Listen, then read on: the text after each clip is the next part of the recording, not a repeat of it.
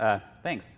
As Fred said, I work at OpenX, and uh, I work on our ad delivery systems. There's a lot of Erlang, but there's also a few other languages sort of in the mix.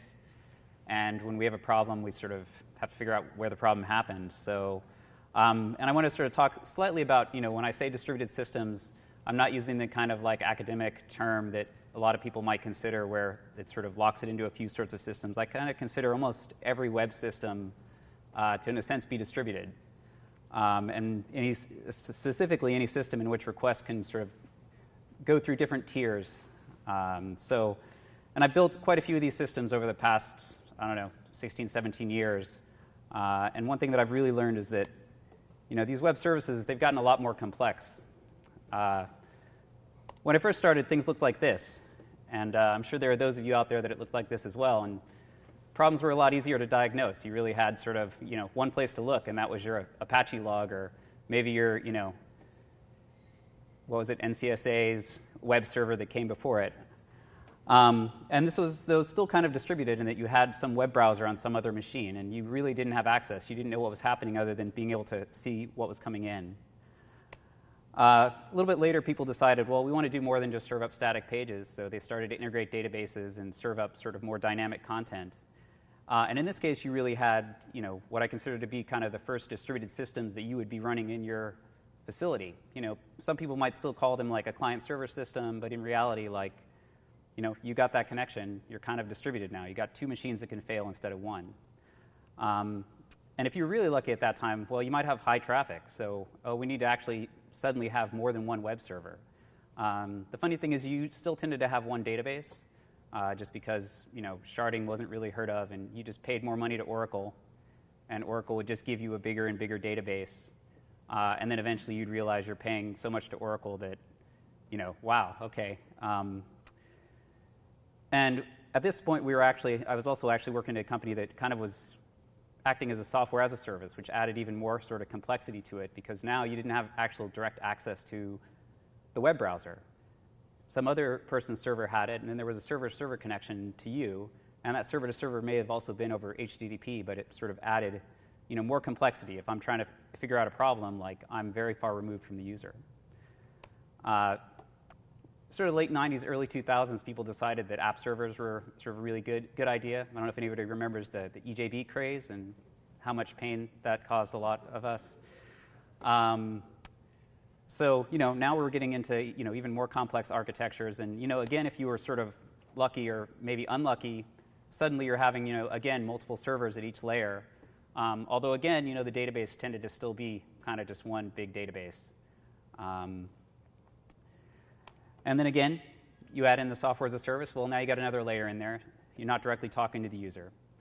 Um, so fast forward to sort of where we've gotten to today, and uh, this is kind of that more service-oriented or n-tier architecture where the app servers have sort of, as a monolithic thing, have been split up into many smaller services, uh, and you tend to run them even, you know, they may be multiple on the same machine, they may be spread across machines. They tend to do things like front your databases, front external calls, front calls to, you know, NoSQL services. Maybe they do sharding themselves. Uh, add in you know, that software as a service, and you know, these systems start to look pretty complex. And when requests come in from a user, you know, it could hit sort of any layer of any of those services because most of the time you're doing you know, fairly generic round robin balancing or something like that. Uh, so you know, the big question is sort of how do I figure out when something's going wrong, how it, how it uh, went wrong?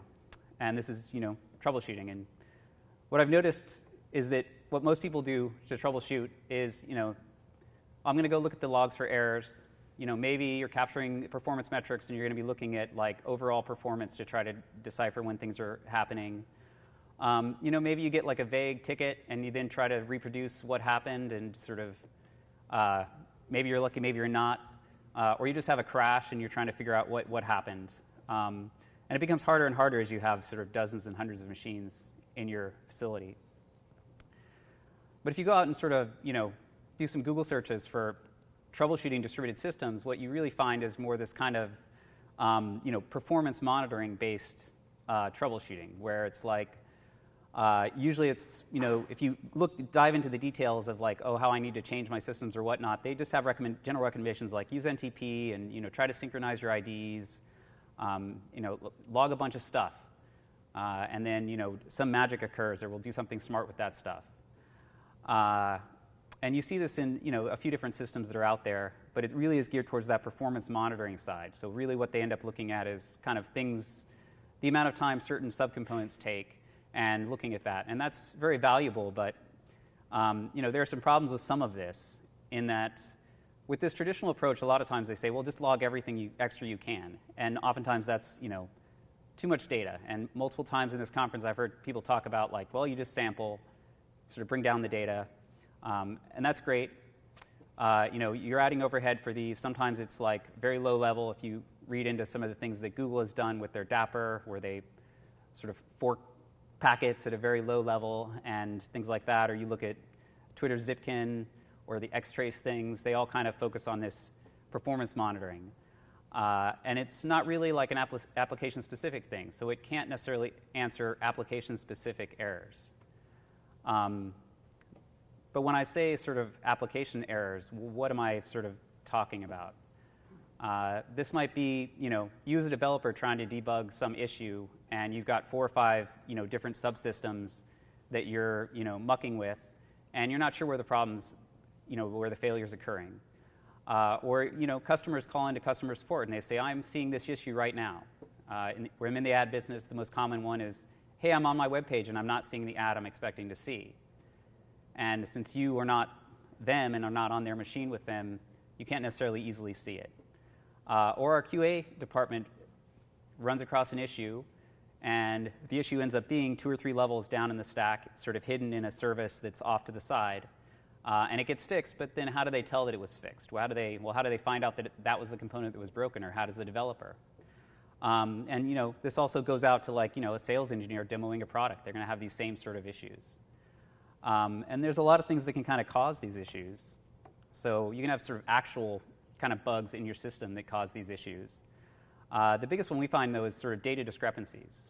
You know, with these complex systems where you're throwing bits of data here and there, and you're relying on different systems to push data to this component and push it there. Like sometimes replication is behind, or sometimes replication fails for one component or another, or sometimes a read from disk fails because that particular disk happens to have gone into, you know, some bad mode, uh, or just, you know, it could be that a service has partially com- uh, failed in a way that sort of is slightly working but not totally. Uh, and it, a lot of times it can be the sort of PEBKAC, like, you know, the problem's really at the user side. They just aren't doing the wrong thing. Uh, so having sort of come across this at several times uh, and kind of I've come across what I consider a possible solution to this problem, um, which is the cross-language tracing of specific requests. Uh, so in this case, what happens is we trigger a trace with some sort of external input, and then you know we're going to log lots of extra stuff during that, but we don't want to load the systems too much, so we're going to log it over UDP to some central place, and then we're going to provide a way to sort of look at the data and you know, inspect, see what was happening at each, at each layer in the system.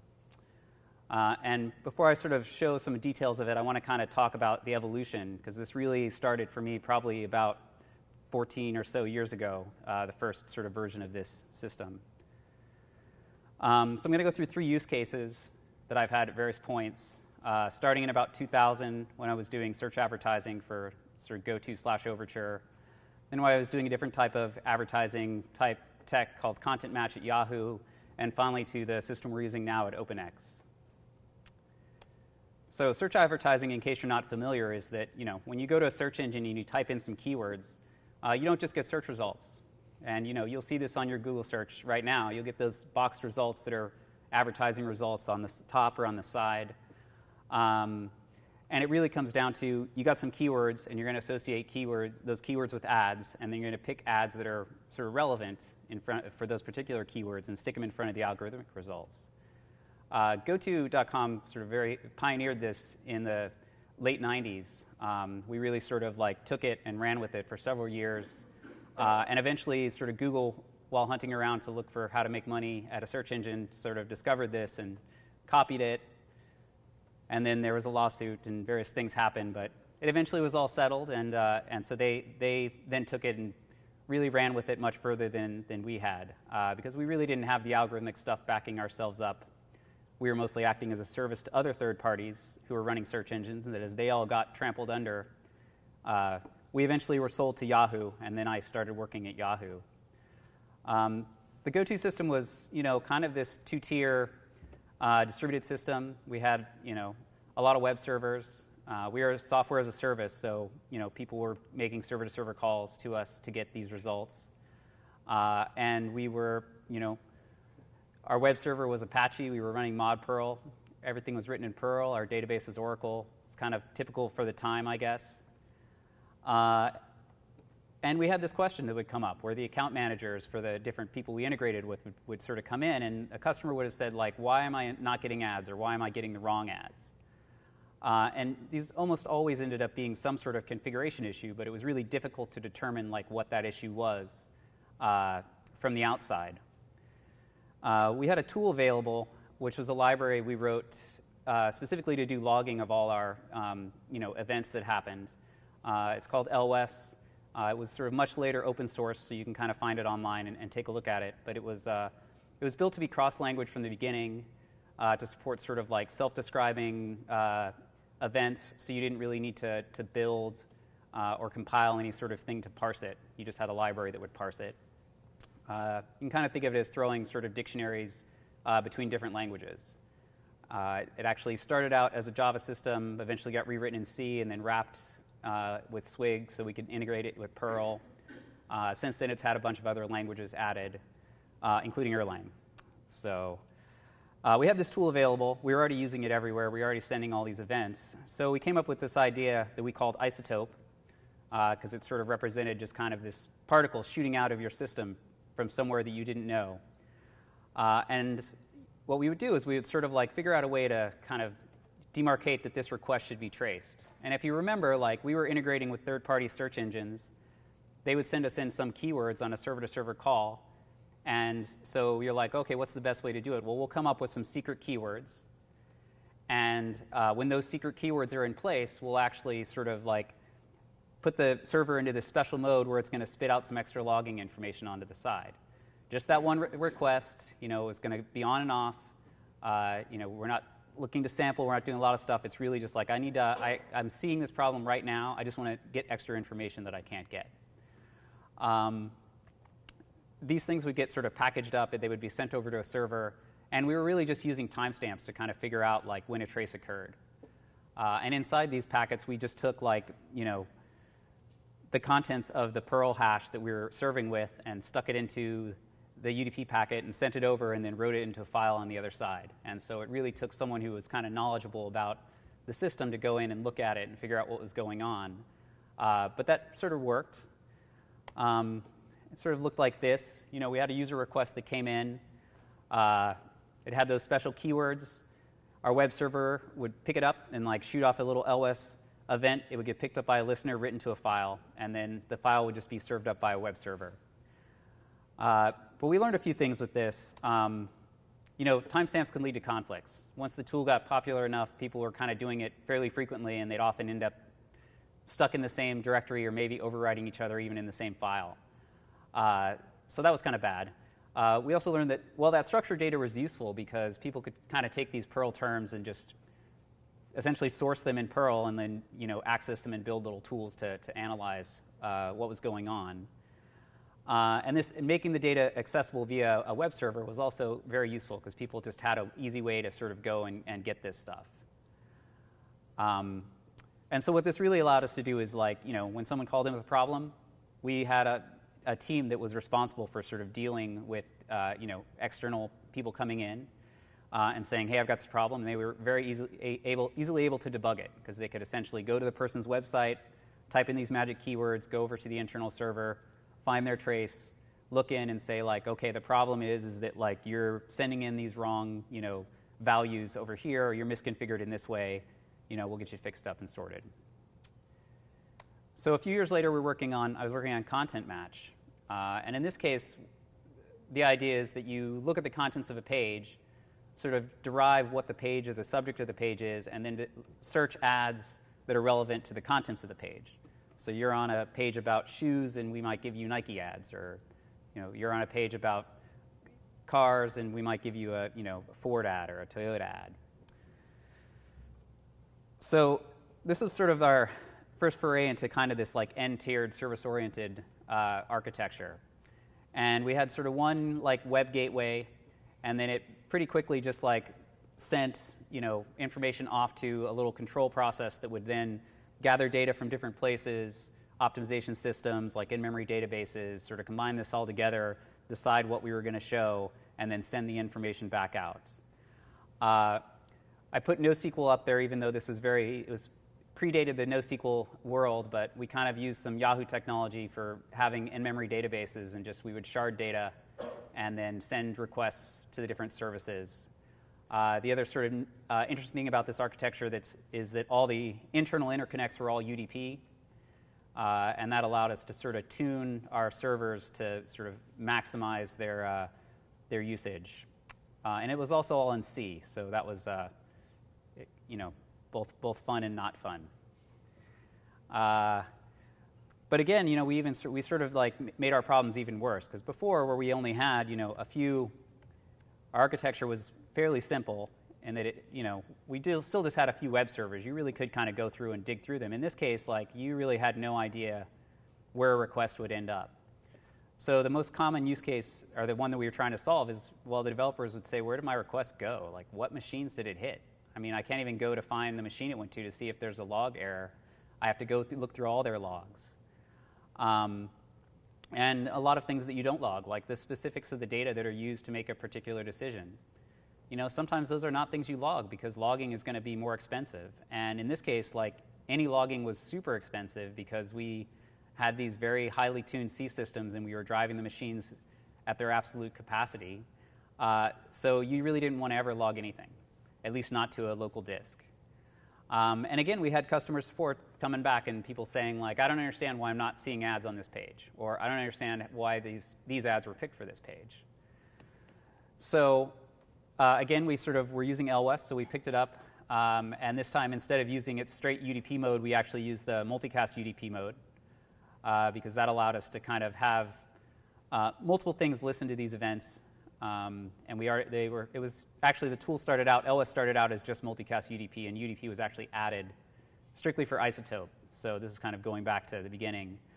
Uh, and then we had a little command line sort of listener that you could sort of listen to uh, these traces. Uh, and the way we got sort of an I, and then, you know, the system was called LLog. And essentially, again, we were needed a way to sort of demarcate this request. Uh, and in this case, we pretty much knew the requests that were being made because they were made directly from the pages. So you could easily sort of dig up the URL. Uh, and we had a, you know, a secret query arg. Um, you know, uh, whenever I say secret, these are all like extremely like you know, very poor security. Like if anyone had found it out, they could have like sent a bunch of stuff. But security through obscurity works in a lot of ways. Uh, and it would just take in an integer. And we were using this integer instead of uh, the timestamp. So when the ID came in, we would just check all throughout the system, like, hey, is the ID non-zero? If so, I'm going to spit out some extra information, send it over over LWES to this, this central place, or in this case, to the multicast uh, channel. And then I have my little listener that I basically tell to listen to all the events for this particular ID, and it would pick them out and sort of print them out. Um, and that was great for developers, but you know, what about those customer support folks who weren't really going to use this command line tool? Uh, for them, we sort of set up a system where you could kind of enable traces on a certain number of requests. And they could do this through like their sort of UI, and they could say, I want to listen to the, you know 100 requests for this particular you know URL and we would sort of capture all of these and sort of sh- shove them into a database because essentially all they really cared about really was like the, the, the, access logs which we had turned off because they were sort of performance bottleneck. And they really you know were reliant on access logs and really wanted them so we were like well we're not going to give you full access logs but we can let you trace and get some access logs so you can kind of figure out some things. Um, so what this sort of looked like is you know your user request came in and it got this trace id and the trace ID was sort of uh, tunneled through all the components in the system. And when any particular component would pick it up, it would uh, fire a message off LWES of you know, any information that the developer thought would be useful to kind of decipher what was going on. So this might be like, okay, some state that I normally wouldn't log, but is useful to determine like what was running at the time. Uh, it could just be information about you know, the request that came in. Uh, and then we had two ways to look at this. We had the sort of listener at the top that would just listen to the multicast channel and dump it to standard out. Uh, and then we had the one on the bottom that would kind of listen and stick it into a DB and could read it from a DB from the web server. So in this case, we learned that you know the real-time listening was it was very useful for debugging, uh, but the fact that it was just kind of like somewhat ad hoc uh, meant that many people wrote these little scripts that would just parse it and look at it in various ways and we didn't really like capture that information anywhere because uh, it was just kind of mostly developers would go and like run a trace, see what was going on. Um, but we kind of also learned that like yeah, those traces that were in the database like those are kind of useful because they could kind of go back later and look at them and see if things had changed. Uh, so now sort of come ahead to where, what I'm doing now, which is display advertising. So in this case, you know, it's you've got a location on a page. Uh, you need to put an ad there, so you want to find the best ad and you usually have some information about the user. Maybe you're using some real-time bidding uh, to check at real time, time and you know folks like AdRoll or um, and AdGear and things like that. Uh, and you just pick the best ad that, for that point in time, you show it. Um, so in terms of the architecture, well, you know, it's kind of n-tier again. Uh, we're not really using UDP between the layers. We, we basically sort of settled on Thrift, uh, which allowed us to kind of like have the different services be in different languages. Uh, and you know, where before content match had been C, you know, maybe a little C++ pretty much for all the services. Uh, at OpenX, we kind of said like, okay, we want to try a lot of different things.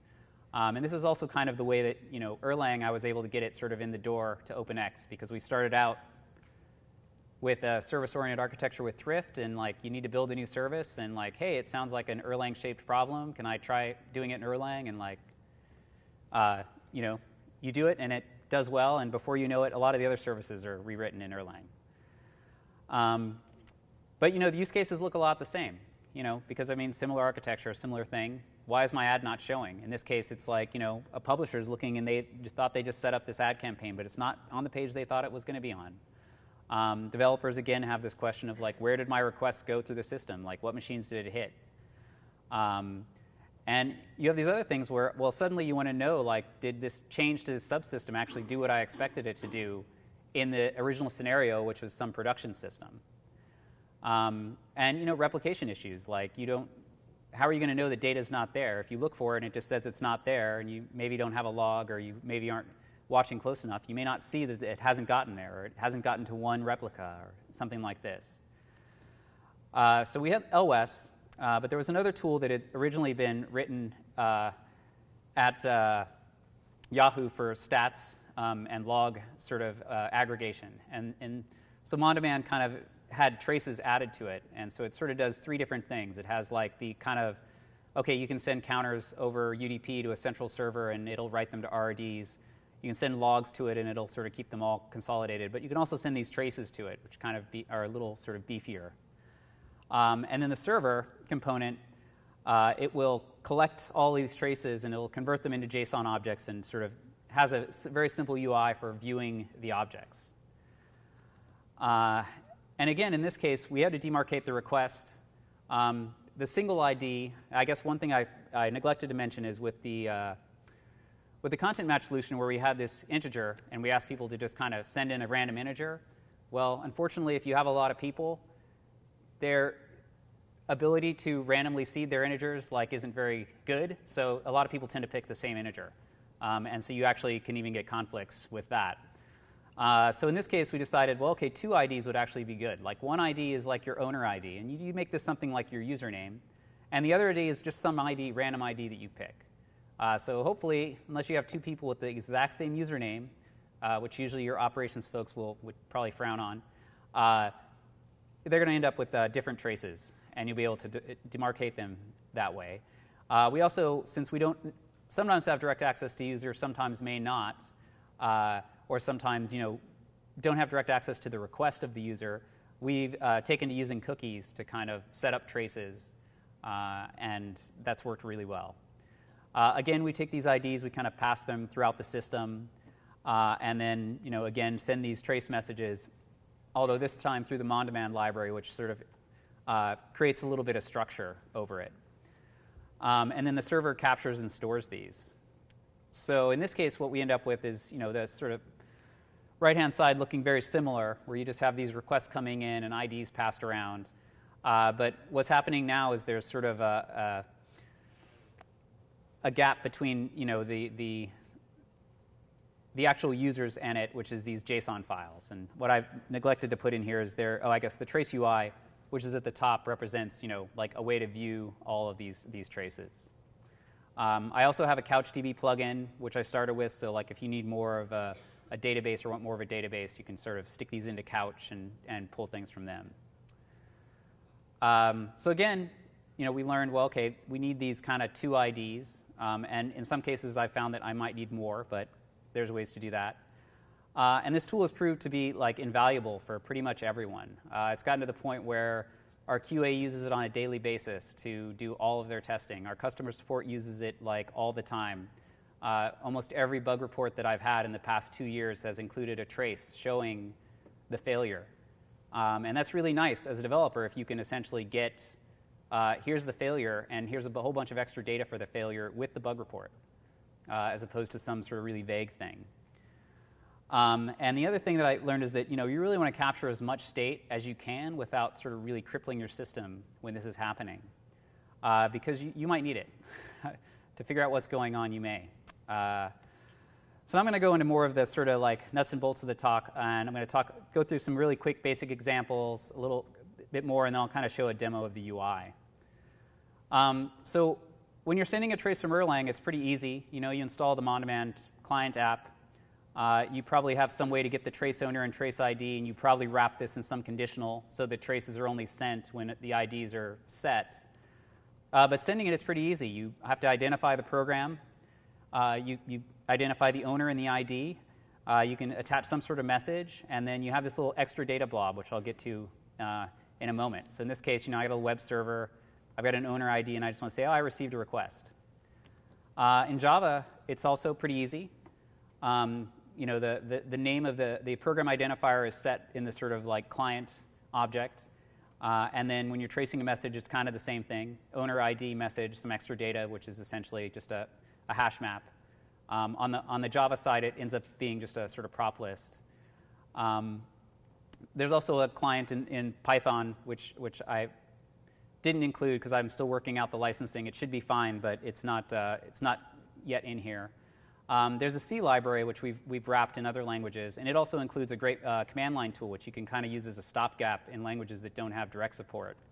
Because uh, you can just sort of invoke the command line tool, and other than having to specify kind of where the message is going, uh, it's got the same sort of arguments. You give it a, a, an identifier for the program, you give it an owner and ID, and some sort of message, and it's going to send that out. So you can kind of shell out from just about any language and, and do those. Uh, what you end up what the, uh, the JSON looks like on the server is pretty much just that information. There's a little bit more that's thrown in here. You get kind of the, the IP address of the machine that sent it, and the port and the, the local receipt time.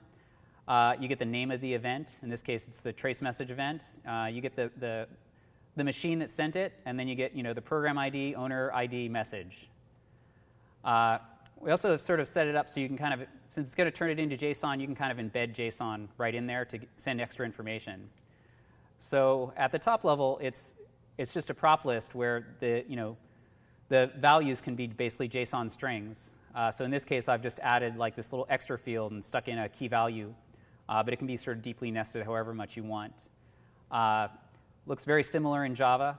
You know, you're adding these, these key values. Um, it even looks similar in the uh, command line, uh, where I've just sort of added this extra key value in the trace. Uh, the difference comes in sort of uh, what the JSON ends up sort of looking like, uh, which is I now have this little extra field, and it's got the, uh, the key value sort of embedded right in there. All right, so now I'm going to go and try to uh, demo the UI a little bit. So I kind of made up this like fake uh, system that's sort of like, um, you know, it's, it's about widgets and it's got a couple of little services. It's maybe got some sort of user authentication service, ties to your LDAP database or something. It's got some little widget service that knows about widgets, and then but that has a call out to some inventory service because your inventory is stored somewhere else. And uh, so I sort of, you know, made a pretend call and made you know pretend traces just so I could get a very uh, fold out trace message. Um, but I can, you know, if you're interested, you can come and I can show you the, the, the, the code that sort of does it, um, and I'll probably put it out somewhere at some point. So let's dive over to here. So in this case, uh, you know, this is the name of the, uh, the this little, if it's this large, my buttons are a little bad, but it's got the name of the, uh, the, the owner and the, the trace ID here. And then you get this sort of log of the things that happened. So this says, okay, the web server on this, you know, my local host, it received a request for this URL, and I want to get the widget count. Uh, and this has actually got some embedded information, so I can sort of expand it and see that, like, okay, I got a request. There was no body, but oh, look, there was, here's all the HTTP headers that came in. Um, you know, I got some this, this basic authentication blob, and, you know, here's the method that was used. Here's the sort of path that was used. Uh, the IP address, HTTP version. Um, so that's kind of useful information, uh, more, more than you get in your logs normally. Uh, and the first thing it does is it's, it's calling you know, the get account info of the auth service. And it's you know, sort of added stuff here. It's passing the token over to your auth service. Um, your auth service is sort of receives this request and it's got the same parameters in there. And you might think like that's a little redundant having them both sort of send out what got sent and what got received. But in reality, like uh, if you don't have that, it, it, you, a lot of little subtle things can sort of happen. And if you have systems that are not yet trace, traceable and you're sending what I sent them and what I got back, then at least you have that information. Um, and at the very least, that's like the great thing to add. And what things like Xtrace and Zipkin and all these, all they're really doing is sort of adding at those kind of interconnects this information. Uh, so then, you know, that auth service, and you notice the host name here has changed. So it's a different host, and it's looking up the account info in the database. And I made up a little query here. You know, maybe it's like getting something and looking for this particular token. Uh, gets the results, and maybe it has the, like, okay, I've got this account, and I've got this sort of, these are the allowed actions. Um, and this is just a JSON array, but this, the way that JSON arrays end up looking is just sort of indexed hashes and how I can get this to kind of expand and collapse. Um, you know, this returns that same info upstream they get that same info. So here it is. Uh, then there's this here that this is just like, this doesn't expand because it's just a thing that says, oh, that user was allowed to view, so we're going to use that account.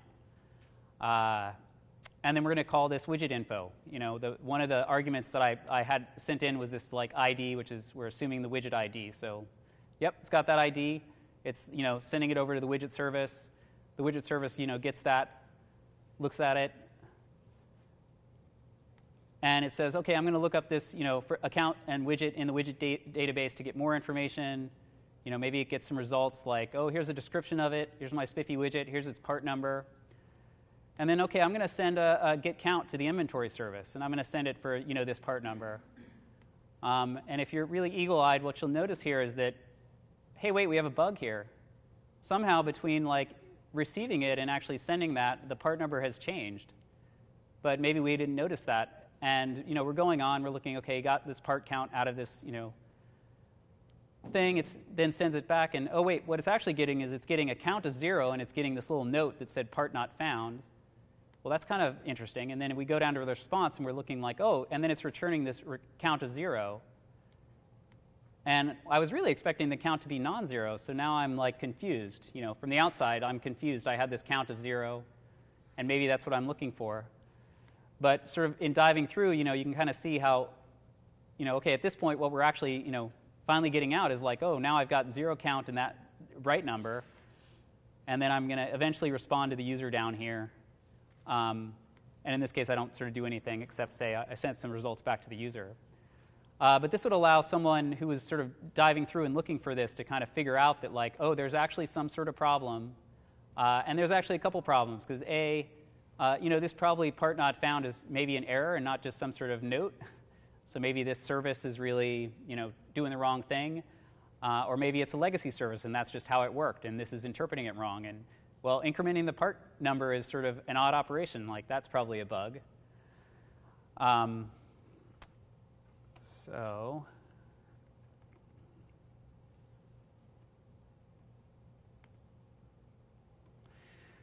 Okay, so I've sort of, there's my demo. Just wanted to talk about some final thoughts and a few limitations in the system. Uh, so this is cool. It requires you know a bit of work on your side because you basically have to kind of instrument your applications. Uh, but you know, as I showed, we've tried to make it so that the libraries are not that hard to kind of add instrumentation. Uh, but the important parts are these things that are you know really more systematic things. So having IDs that can sort of be injected into your system for a particular request, and then having those IDs go throughout the system is really useful. Uh, I think that one thing will allow you to do sort of lots of interesting things uh, with your application. At the very least, if you are relying heavily on logging, having a consistent ID through all your components and being able to use you know, Splunk or Sumo Logic or one of these other systems where you can centralize your logging, now you have an ID that you can kind of look. And if that ID is tied to some external input, oh, now I can actually like nail, you know, dive into particular problems uh, and get information about it. Uh, so there are a few limitations to the current one. This first one actually is, uh, is, is, now uh, patched and making its way in. Uh, since we were using UDP, uh, you're limited on packet size, and we did find cases where we were sort of attempting to trace things that were greater than the 65K limit. so the Mondemand library now supports sort of dual protocols. If it's less than 60, 65K, or it's like actually less than that, it's like if it's less than 60K or something, it'll continue to send via UDP, and if it's greater than that, it'll sort of just package it up and uh, do a, a, HTTP post over to the, to the same server. Uh, it ends up in the same thing as just a JSON file. It's just sort of an alternate way to send those. Um, the more exciting stuff is, is now that I had this system where I had sort of trained all of my you know, QA folks and customer support to trace problems that they had, I said, hey, these traces have almost all the information that I need to actually like completely recreate a request on a particular component in my dev system.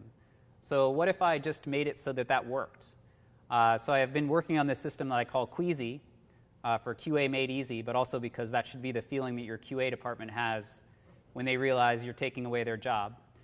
Uh, and what it does is it basically uh, provides a way to sort of take a trace and then uh, recreate the request that uh, caused the error and mock out all the services so you can kind of isolate a single service in your environment.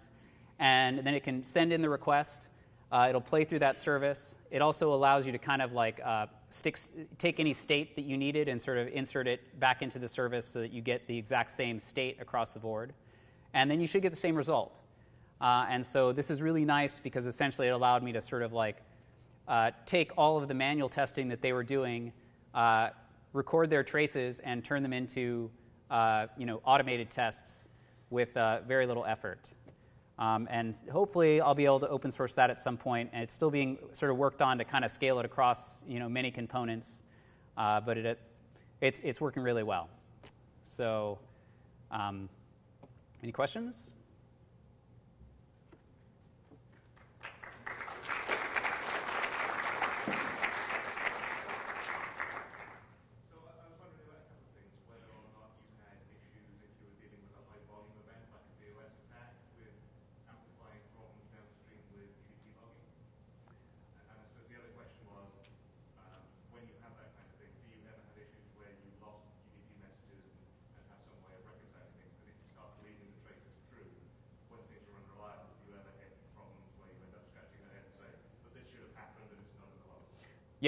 So the fact that our traces are somewhat secret and only used by internal folks means that we haven't really had to undergo any sort of uh, issues with that. We have been denial of service by internal components that have turned on tracing for everything. And yeah, you sort of drop information and people tend to notice real quick because it uses the same channels as the statistics, which are used internally a lot. And so people would notice weird statistics issues happening and then do that. Uh, you know, you can address kind of the, the, some of it by, you know, we're pretty open in how we uh, set them internally. We don't let that out, but like, you know, most internal people know how to get a trace set up and they do that. Uh, if we needed to, we could sort of do authorization or do time-based like expiration. Right now, the cookies are usually like five-minute session cookie, you know, so people would have to be kind of like, they'd have to know a lot of our internals and work hard to DOS this, so we haven't encountered that it'll happen, I'm sure, at some point. Uh, we have actually, we use UDP for all of our other logging. Um, we use LWES to log, you know, everything. And Uh, in those cases, what we found, and, and, I've been using LWES pretty much in every company that I've worked at since about you know, 97, uh, when I first wrote the library. Um, on any gig switched network, UDP, really, really no issue. Uh, we tend to segment, so we end up having like a number of UDP channels, and we basically like partition, and then we send to, to multiple channels, and then dedupe in the back end.